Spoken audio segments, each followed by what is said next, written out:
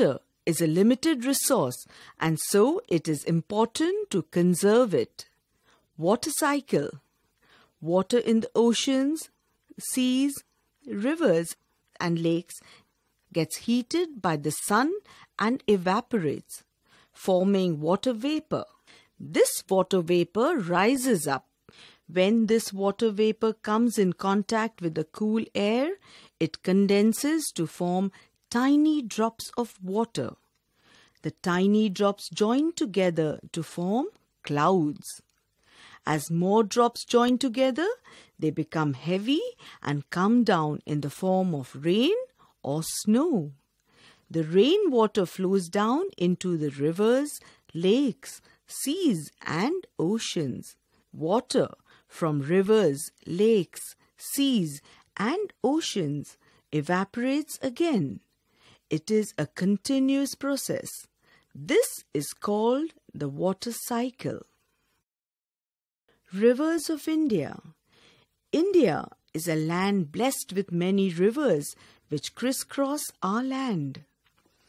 From Kashmir to Kanyakumari, from Gujarat to Assam, rivers flow through all these states.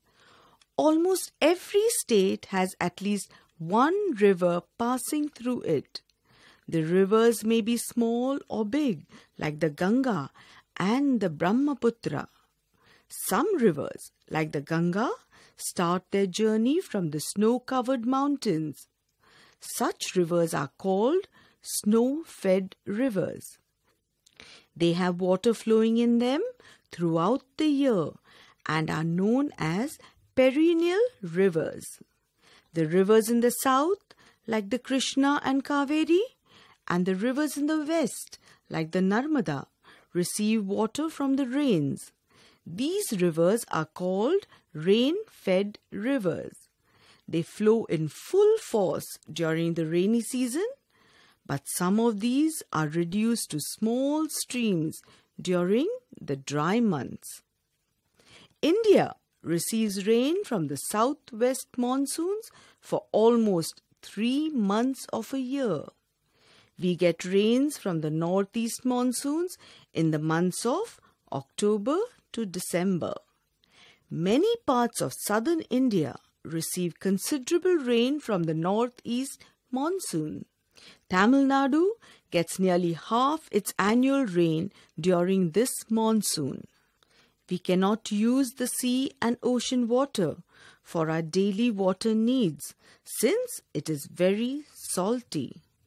In spite of having so many rivers and freshwater lakes, and receiving so much rain, we face shortage of water. The main reason for this is increase in population. Water is used not just in our daily activities but in many manufacturing and industrial units as well.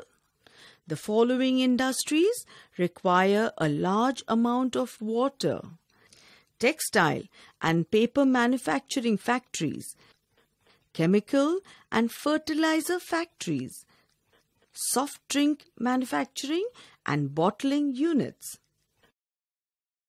Underground water.